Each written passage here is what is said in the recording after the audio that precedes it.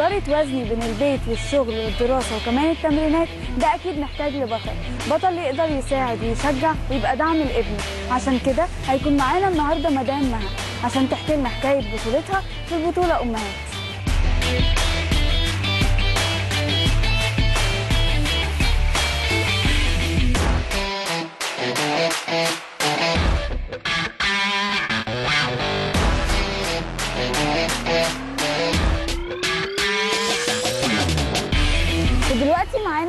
حلقه النهارده بطلة جديدة. في البداية عرفينا بنفسك. آه، مها عمرو جمال الدين مهندسة كهرباء. آه، مامة محمد هاني بطل في مرحلة 2005 آه، بيلعب في النادي الأهلي. وهو بطل الحمد لله من هو 11 سنة. السباحة أكيد لعبة جميلة بس كنا عايزين نعرف مين اللي اختارها لمحمد وليه.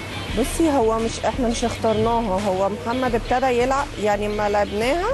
أما هو محمد راح يلعب كنا بنعلمه سباحة لعبة مش أكتر. آه وبعدين اكتشفوا بقى إن هو ما شاء الله عليه موهوب جدا بالذات في سباحة ال back فكملنا بقى يعني بس هي للأمانة إحنا كنا بادئين إن هو يتعلم السباحة من, عشان السباحة آه، لعبة مفيدة وكده وبتاع. لكن ما كناش أخدينها ك professional إن هو يبقى فيها كده. لكن ما شاء الله كل مدرب كان يشوفه كان يقول لي ابنك موهوب جدا في عومه ال back وهيبقى بطل من أبطال مصر. الواحد كان بياخد الكلام في الأول على إنه يعني يعني ممكن يحصل ممكن ما يحصلش. لحد الحمد لله ما كملنا في طريقنا والحمد لله هو بقى بطل. بطل في مرحلته بطل في أفريقيا وحطم أرقام قياسية وربنا ربنا كرمه جدا يعني الحمد لله. زي ما الرياضة مهمة الدراسة كمان مهمة. فازاي بتقدري تخلي محمد يوازن بين الحاجتين دول؟ هو الحمد لله آه، هو متفوق آه، دراسيا كمان لأن أنا يعني طول عمري. يعني أو شايفة ما ينفعش تبقى بطل رياضي وأنت فاشل دراسيا. آه، يعني بحس إن هي معادلة كده مش هتكمل. لازم برضو البطل يبقى متفوق في دراسته. بأمانة إحنا بنقصر مش هقول لأ ما بنقصرش. بنقصر بس بنيجي فترة الامتحانات بنعمل فوكس بنقلل في التمارين شوية. بنكثف الدروس. ساعات كتيرة باخد أجازة من شغلي وبقعد معاه. آه، بنكثف جامد جدا. ده بي... يعني بيبقى مجهد بصراحة أسبوع الامتحانات أو فترة الامتحانات دي بتبقى مجهدة لينا جدا ليا وليه. هو نفسه بيصعب عليا. لأنه برضو يعني هو السنة اللي فاتت كان في الإعدادية أنا أفتكر امتحانات الإعدادية وكان بيروح برضو تمارينه. مفيش حاجة اسمها لا توقف تمارين. لازم تروح تمارينك. ما ينفعش مثلا تاخد يومين أجازة ورا بعض. لازم مثلا يعني هو يوم تاني يوم يبقى رايح امتحان. السنة اللي فاتت الامتحانات كانت في رمضان. كان بيروح كان بيروح تمرينه وبعدين يرجع من تمرينه نقعد نذاكر شوية ويسحر وينام ويصحى يروح الامتحان. فكانت حاجة مجهدة جدا. بس الحمد لله هو متفوق وهو بيعمل اللي عليه ومش بيأثر في أي حاجة. ربنا يحفظه. كل رياضي بيبقى ماشي بشنطه متحركة. كلمينا عن محتويات. شنطة محمد وبتجهزيها في قد إيه؟ هي دايما شنطة محمد فيها حاجات السباحة بتاعته وغالبا بقى ال- ال lunch boxes يعني lunch box بعد مثلا تمرين السباحة كل كذا. lunch box بعد تمرين ال fitness. طبعا باجي من الشغل جري عشان أحضر له الحاجة بتاع يعني الأكل بتاعه وكده و...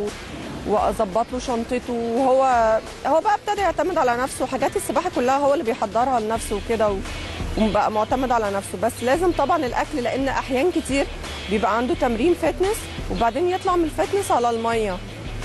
في عدد ساعات كتير قوي. خمس ساعات ست ساعات بره. لازم ياكل وخصوصا إن السباح بيبقى عايز تغذية خاصة.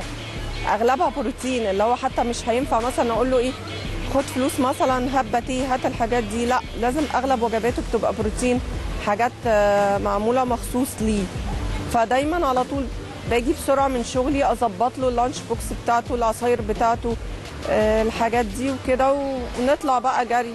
لو هو هو معايا أو ساعات بيروح آه، هو لوحده آه، يعني كده بس على طول دايما ال lunch boxes بتاعته اللي فيها ال- التغذية بتاعته ال- ال vitamins بتاعته الحاجات دي. لازم برضو أنا اللي بحضرها. هو للأسف لحد دلوقتي مش مش بيبقى aware قوي بموضوع موضوع ال supplements بتاعته ال- الأدوية بتاعته الحاجات دي. فبس فلازم أنا اللي ببقى متابعاه فيها يعني سواء آه، vitamins سواء أكل أنا اللي بحضره له يعني. طيب خلينا نتكلم أكتر عن البطولات. كلنا عارفين إن فترة البطولات بتبقى من أصعب الفترات في حياة البطل. فكلمينا أكتر إزاي بتجهزي محمد نفسيا وجسديا للبطولات؟ آه البطولات دي بقى من وإحنا 11 سنة وإحنا عايشين في البطولات دي. كنا بنلعب صبح وبالليل وكانت فترة فترات مجهدة جدا. مش قادرة أقول لك مجهدة قد إيه. صبح وبالليل ساعات كتير جدا كنت بحجز له في أوتيل عشان يبقى جنب الاستاد وكده. استعداده هو بقى بيبقى هو ما كان صغير آه يعني كان بيبقى محتاج بقى إعداد نفسي وكده وأعمل اللي عليك. ما تزعلش لو حصل إيه. أنت بتلعب رياضة ما تضايقش نفسك كده. لكن هو ما شاء الله عليه لما كبر وبقى بطل وسافر آه، يعني سافر بطولة في أفريقيا سافر مع الأهلي بطولة في بلغاريا. هو خلاص يعني بقى يعني هو بيعمل لنفسه كده تهيئة وكده وخلاص هو بقى عارف مصلحته. عارف إن هو بطل وعارف إن هو عليه التزامات وعارف إن هو عليه واجبات. عارف يعني أبسط حاجة مثلا قبل البطولة مثلا سيب 10 أيام مش بناكل شوكولاتة مش بناكل سمك. هو عارف الحاجات دي خلاص بقى عارفها من نفسه وبيحافظ عليها آه بيبقى عارف إن يعني البطولة دي أنت في. في حاجات على المحك أنت محتاج إن أنت تحافظ عليها وتحافظ على المستوى اللي أنت وصلت له تحافظ على المكانة وتحافظ على مكانك إن أنت كبطل بتاخد كاس أحسن سباح بتاخد كده هو هو من نفسه خلاص عارف إن ده ال lifestyle بتاعه وهو بيحافظ عليه وهو بيخاف عليه. آه، أنا بقى ببقى جنبه دايما في البطولات. عمري ما بسيبه عمري ما أسيبه في بطولة عمري ما أسيبه في event لازم أبقى معاه. عايزة أقول لك مش أنا بس آه، جدته كمان اللي هي والدتي على طول. بصي إحنا باكج كده على بعضينا على طول مع محمد في الاستاد. باباه إخواته على طول واقفين معاه بنشجعه. كانت أصعب حاجة عليا لما سافر آه، لما سافر تونس البطولة الأفريقية وأنا ما كنتش معاه. ما كنتش معاه كنت حابة إن هو يعتمد على نفسه ويبتدي يشوف إن ده بقى ال ال ال يعني الخط بتاعه. اعتمد بقى على نفسك خلي بالك من نفسك. بس كانت صعبة عليا جدا صعبة عليا إن أنا ما أشوفش ما بقاش شايفة ال event بتاعه live ما بقاش شايفاه. آه كنت بشوفه على النت وكده بس كان الموضوع صعب عليا قوي. بس الحمد لله هو هو طلع راجل واعتمد على نفسه وحقق الحمد لله نتائج كويسة قوي. ربنا يحفظه.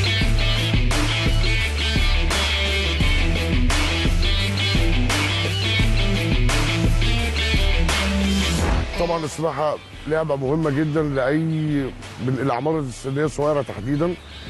آه تقدر حضرتك تبني عليها أي لعبة تانية ممكن آه أي أي طفل يلعبها بعد كده. آه اللعبة بت بتمارس صيف وشتاء. آه أكبر أكبر قاعدة ناشئين تقريبا في مصر هي في النادي الأهلي. آه إقبال طبعا إقبال شديد جدا على المدارس عندنا. مرورا بمرحلة البراعم بمرحلة تجهيز فرق لحد ما الولد يخش فرق وطبعا ده بيبقى ليه معايير مختلفة بس يعني مما لا شك فيه ان السباحه من أحسن وأعظم الألعاب اللي حضرتك ممكن تمارسها حتى صحيا لل للبني آدم قبل حتى ما يكون رياضي. التجهيز بالنسبة للبطولة بيبقى ليه وضع مختلف، في فترات إعداد بيحطوها للمديرين الفنيين. آه يعني بتختلف من مرحلة لمرحلة طبعا. بس كلها في المجمل آه، بيبقى في فترة تقريبا قبل قبل البطولة قبل البطولة لا تقل عن ثلاث أشهر تبقى في فترة إعداد كاملة تمارين مكثفة جدا بتبقى الصبح وبعد الظهر. لحين وصول ميعاد البطولة قبلها الأسبوع بيبتدوا ينزلوا بالحمل التدريبي لحين دخول البطولة. لعبة السباحه من من ال يعني من الألعاب الصعبة جدا لأن أنت بيبقى عند حضرتك عندك تمرين إجباري في الفجر وفي تمرينة تانية بتبقى بعد الظهر. أصعب ما في الموضوع طبعا هو تمرين الفجر. يعني تمرين الفجر حضرتك مش متخيل حجم المشقه اللي بيواجهها السباح عشان يصحى الساعة 4 الصبح عشان يبقى موجود في النادي من 5 الا ربع عشان يبتدي يسخن أرضي قبل ما ينزل. ويبتدي ينزل تمرينه آه، في الأيام العادية. أقول آه، في الأيام اللي هي غير أيام الدراسة بيبقى الموضوع إلى حد ما سهل شوية. بس أيام الدراسة بيبقى صعب جدا. هو بيخلص بيخلص مثلا دروس بالليل أو تمرين متأخر بالليل. ومجبر إن هو يصحى تاني يوم الصبح بدري عشان يجي يحضر تمرينة الفجر. فطبعا اللعبه فيها مشقه غير عادية على السباح وعلى ولي الأمر طبعا.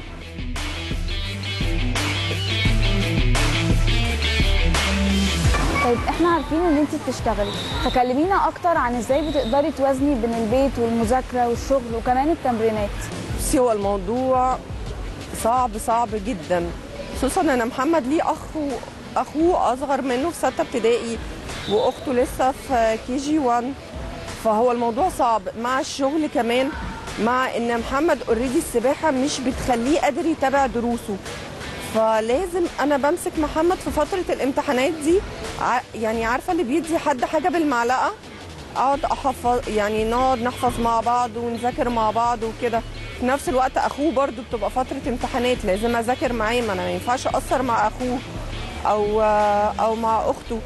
مع الشغل كمان مع إن أنا جاية من الشغل جري عايزة أحضر الحاجة وعايزة أطلع آه، أجري عشان أوديه التمارين. فيعني حياتنا كلها رش يعني عارفة عجلة كده عمالة تجري ورا بعضها تحسي إن الموضوع مجهد جدا. أوقات كتيرة بصراحة بتعب قوي. يعني أوقات بروح الشغل أصلا ببقى مش قادرة. يعني مرهقة جدا تعبانة جدا. أبسط حاجة محمد كان امبارح آه، في العمومي آه، لعب عمومي لعب في event في العمومي الصبح وبعدين ال finals بالليل. أنا وديته لعب ال- ال- ال event الصبح ورجعت على شغلي وبعد شغلي رجعت له تاني قعدت استنيته كل ده أنا بره بيتي وسايبة ولادي آه، مع ماما وباباهم ربنا يخليه وكده وسايبة ولادي ورحت له ال event بتاع بالليل. قعدنا حضرنا ال event وكده وهو عمل كويس الحمد لله. بس اللي هو أنا يعني أنا خارجة من بيتي say مثلا 6 الصبح راجعة 11 بالليل. فغالبا بتبقى كلها أيام البطولات كده. آه إرهاق event الصبح event بالليل. آه طبعا مش بنروح لأن إحنا مشوارنا بعيد. فببقى حابة إن هو يقعد يريح. بحجز له مثلا في أوتيل جنب ال جنب الاستاد أو كده عشان برضو إرهاق عليه إن هو يفضل رايح وجاي. بس في نفس الوقت إرهاق عليا أو يعني و وفكرة إن أنا أسيب الولاد برضو الولاد الصغيرين برضو بتبقى يعني بس والله أنا بحاول على قد ما أقدر إن أنا ما أقصرش معاهم يعني على قد ما بقدر بخلي بالي منهم ومن احتياجاتهم وكده بس لل... يعني هي السباحة بأمانة لعبة مرهقة جدا. آه مشكلتها ست تمارين يعني ال minimum ست تمارين انت كل يوم بيروح يتمرن غير ال fitness. وحدات كتير قوي. آه يعني برضو مش سهلة بصراحة. يعني هي من أصعب اللعبات يعني مرهقة جدا. بس الحمد لله ربنا يقدرنا و... ونقدر وا- وا- واقفين وراه وجنبه لحد ما ربنا يكرمه ويقدر هو يعتمد على نفسه تماما يعني.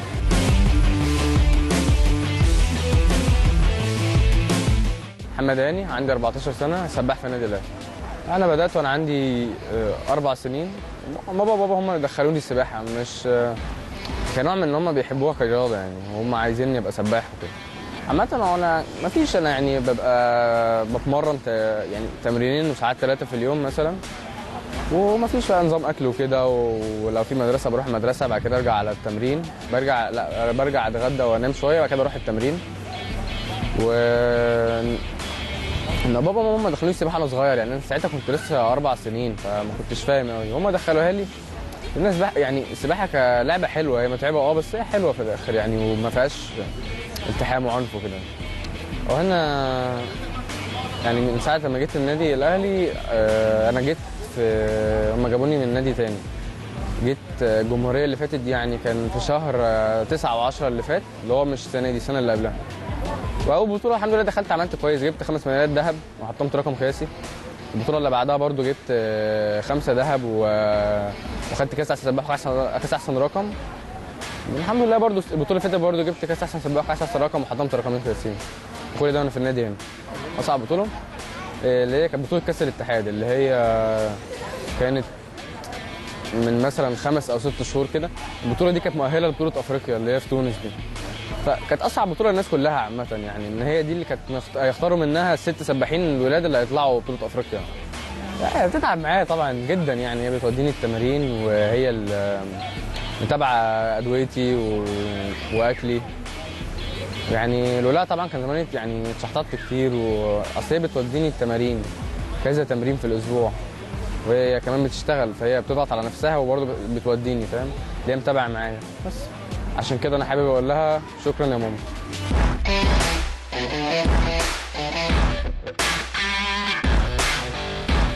دايما في أي رياضة مامة اللاعب بتكون عيلة فكلمينا أكتر عن عيلتك هنا في السباحة في النادي الأهلي.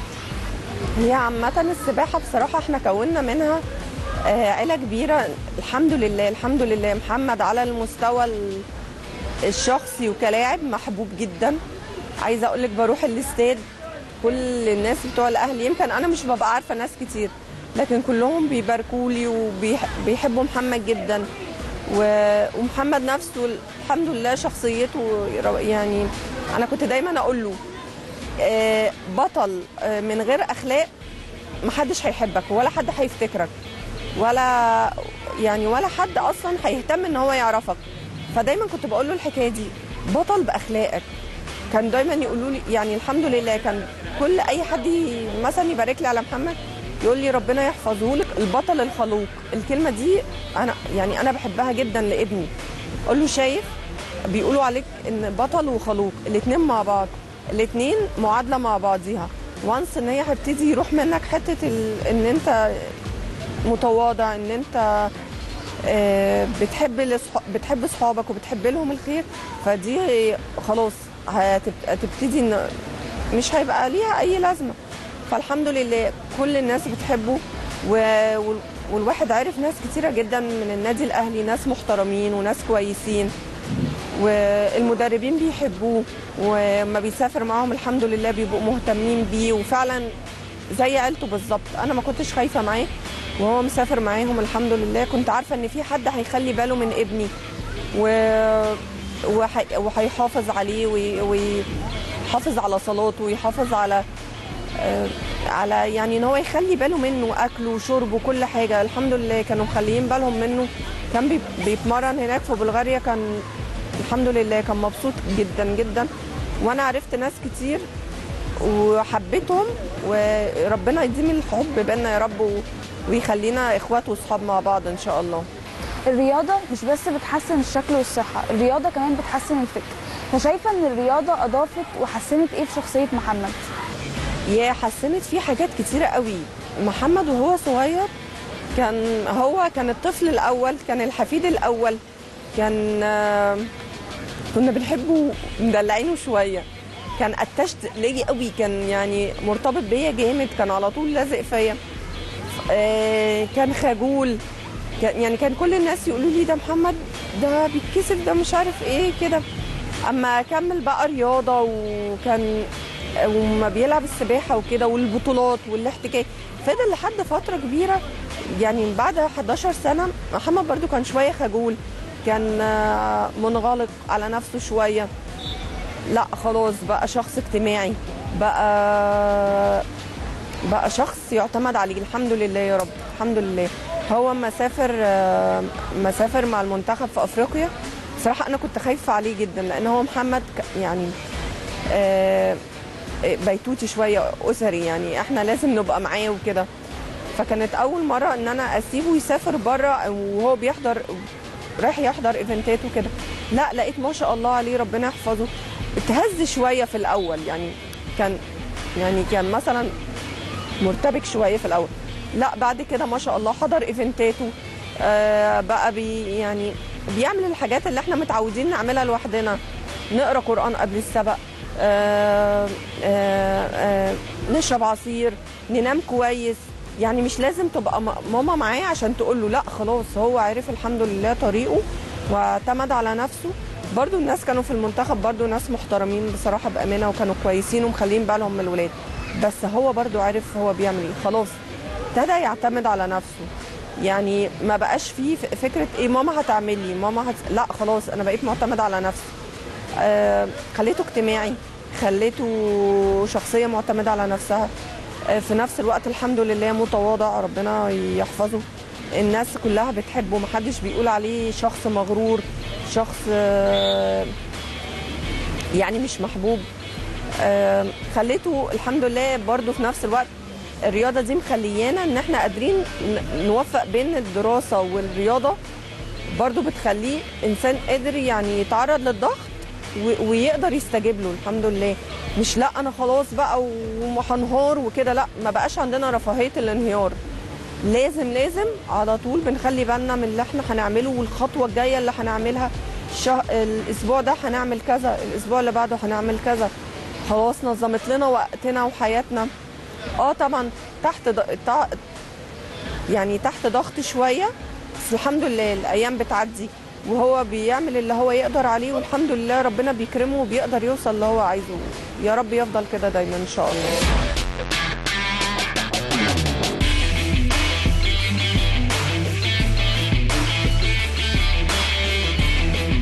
محمد هاني من السباحين لسه منضمين للنادي الأهلي تقريبا من حوالي سنة وثلاث شهور أو أربع شهور. آه طبعا سباح واعد جدا. آه ما شاء الله يعني أنا طبعا أنا طبعا مش هقدر أتكلم فنيا آه بس هو الأرقام هي اللي بتتكلم. يعني آه البطولة دي تحديدا هو محطم رقمين رقم ال 100 back وال 200 back. الرقم كان صعب جدا إن هو يتحطم. هو طبعا بمجهود غير عادي قدر يحطمه. عنده في ال 100 back 59 ثانية. رقم جديد ما اتحطمش من فترة طويلة جدا. حطم رقم ال 200 باك آه، أعتقد 2 دقيقتين 7 ثواني. برضو رقم كان صعب جدا إن هو يتحطم. آه، والحمد لله يعني طبعا كل الحاجات ال- الأرقام اللي اتحطمت أو مستواه الفني ده عشان هو ملتزم جدا في التمرين ملتزم جدا في نومه ملتزم جدا في أكله. فحضرتك برضو لازم تعرف إن السباحة عدة مقاومات هو مش مش بي هو مش بيتمرن كويس بس هو واخد بيتمرن فتنس طبعا كويس جدا. فهو عنده الأربع خمس مقاومات اللي تخليه سباح في المقدمة دايما ويعني عايز أقول لحضرتك إن محمد هاني إن شاء الله يعني يعني ما شاء الله يعني هيبقى من أقوى السباحين الموجودين حتى في مرحلة عمومي ال- الفترة اللي جاية. البيت بيفرق هو الولد ما شاء الله تربية تربية محترمة جدا ولد متواضع جدا ودي يمكن من أكتر الحاجات اللي حضرتك ممكن تقابلها في أي رياضي أو في أي شخص عام يعني بس هنتكلم عن الرياضة على ال- بالتحديد عشان يعني بنتكلم في برنامج رياضي. هو عشان هو متواضع و ويعني زي ما بنقول لحضرتك بيلت- بيلتزم بكل التعليمات اللي بتجيله سواء إدارية أو فنية. فهو في المقدمة ولو هيفضل طبعا على نفس الأتيتيود ده هيفضل على طول في المقدمة. في سباحين كتير جدا بتبقى مرتاحة ولي الأمر قاعد بيتفرج على التمرين بيبقى في نوع من أنواع التحفيز بيبقى في بيبصوا لبعض يعني انت ماشي كويس تمام. بيبقى في, في ناس بترتاح نفسيا وولي الأمر موجود على التمرين وعلى العكس تماما في سباحين ما يعني ما بتبقاش حابة إن ولي الأمر يبقى قاعد. بس هو من الشخصيات اللي واضح إنه فيه ارتباط كويس بالبيت. فهو بيبقى مبسوط ومامته قاعدة على التمرين. وهو الولد زي ما قلت لحضرتك هو تربيته ما شاء الله حاجة حاجة جميلة طريق حتى باسم النادي الأهلي. والله آه، التز- التزموا بالتعليمات لأن أي تعليمات بتجيلكم بتبقى لمصلحة ولادكم تعليمات سواء فنية إدارية حتى طبية لما الدكاترة بتتكلم بتدي نصايح معينة في موضوع الأكل والنوم هو بيبقى في الآخر همه مصلحة السباح يعني هو ما بيتكلمش على مصلحته الشخصية.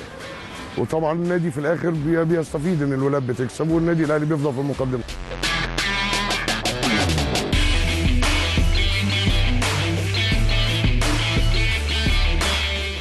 أكيد خلال السنين دي كلها مر عليكي ذكريات ولحظات حلوة كتير. احكي لنا عن أحلى ذكرياتك مع محمد في السباحة. يا ذكريات كتيرة قوي. أول ميدالية دهب خدناها وإحنا 11 سنة آه، أول رقم حطمه أول رقم قياسي حطمه. آه، مسافر أفريقيا والحمد لله جاب دهب 100 و200 back وفضة 50 back. حطم الرقم القياسي بتاع أفريقيا. بس بأمانة الحمد لله يعني آخر بطولة إحنا حضرناها اللي إحنا هي لسه كانت من أسبوعين دي. يعتبر كانت من أحلى البطولات في حياتنا. محمد الحمد لله ربنا يكرمه. حطم رقم ال 100 back آه، عمل سبق 200 back wow. يعني في منتهى الجمال أنا كنت قاعدة أتفرج عليه حاسة إن أنا عايزة أعيط. ما شاء الله عليه. خلاص حسيت إن إنسان وكبر بقى يعني ما شاء الله عليه. بيعوم سبق جميل. آه إنسان تحس إن إنسان كبير بقى عارف هو بيعمل إيه. مقسم السبق لنفسه. يعني عمل سبق جميل حطم رقم ال 200 back كان رقم القياسي ال 200 back 2 9 هو ما شاء الله عليه ربنا يحفظه جاب 2 7 فكان يعني كان سبق في منتهى الجمال. وكانت بطوله كانت بطولة جميلة جدا. هو يا حبيبي كان داخل متخوف لأن ال- اللي أنا كنت بقوله محمد حضر يعني اراوند خمس ست بطولات ورا بعض ورا بعض مفيش راحة. يعني أقل من شهر واطلع على البطولة اللي بعدها أقل من شهر واطلع على البطولة اللي بعدها. فكان كان يعني جسمه مشدود جسمه تعبان مرهق ما بيريحش. ف هو كان داخل البطولة دي متخوف. أنا قعدت أقول له ربنا عمره ما هيضيع تعب الشهور دي كلها مش تعب الشهر ولا الشهرين اللي أنت اتمرنتهم للبطولة دي. لأ انت بقالك أكتر من 8 شهور بتتمرن متواصل ما بتريحش حتى يومين على بعض. فقلت له هو ربنا ما بيضيعش تعب حد؟ ما تخافش. اللي انت هتخاف منه ده ان شاء الله هيجي احسن حاجة انت عملتها. وفعلا يعتبر ان دي كانت احسن بطولة آه، في حياة محمد. رقم جميل جدا سبق حلو جدا كل اللي اتفرج عليه يعني بقى منبهر ما شاء الله عليه. فبصراحه دي كانت أحلى بطولة إحنا حضرناها. أخد كاس أحسن سباح كاس أحسن رقم بسبق ال 200 باك ال- اللي هو عمله ده. فيعني كانت أحلى بطولة إحنا حضرناها في حياتنا بصراحة. في نهاية كل حلقة بنخلي البطلة اللي معانا توجه رسالة لباقي الأمهات. فإيه هي رسالتك النهاردة؟ بصي عايزة أقول لهم كل أم وأي أم بطلة مش لازم تبقى أم سباح ولا أم رياضي ولا ولا الكلام ده خالص. إحنا الحمد لله المسؤولية مش مش قليلة جدا على أي أم. حتى الأم اللي ما عندهاش سباح لكن لأ هي مطالبة إنها بتروح شغلها وترجع بيتها وتذاكر و... وتعمل كل ده. كلهم أبطال بأمانة. مش لازم تبقى مش لازم تبقى أم سباح. آه أي نعم بصراحة إحنا علينا لود كبير قوي لود التمرين. ال- إن انت تمرين كل يوم وإن انت توصلي وتجيبي آه ده بيبقى ده بيبقى لود زيادة. بس إحنا الحمد لله قصاد كده ربنا مكافئنا بابن الحمد لله كلنا بنفتخر بيه. هو من هو واخواته أحلى حاجة في حياتنا الحمد لله. وأنا معاه في الاستاد وهو بيعمل الحاجات دي. أنا بحس إن يعني إن أنا في أحلى لحظات سعادتي. أنا أنا يعني عمري ما ببقى سعيدة زي ما ببقى وهو في بطولاته. فالحمد لله ربنا مرضيني بالابن اللي- اللي هو بيحقق لي كده. بس أي أم تانية برضو هي بطلة.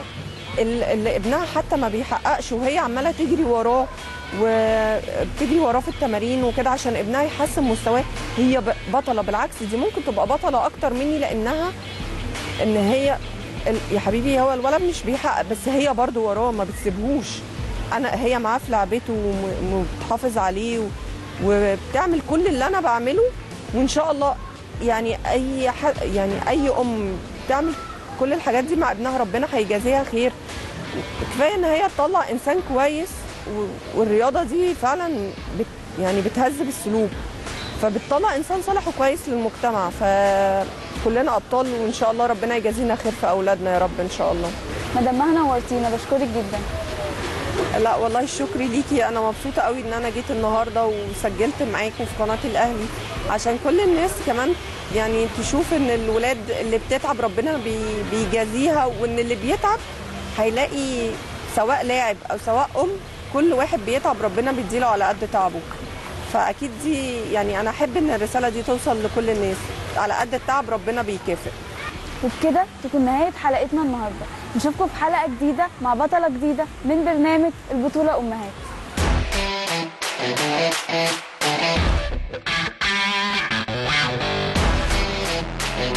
Yeah.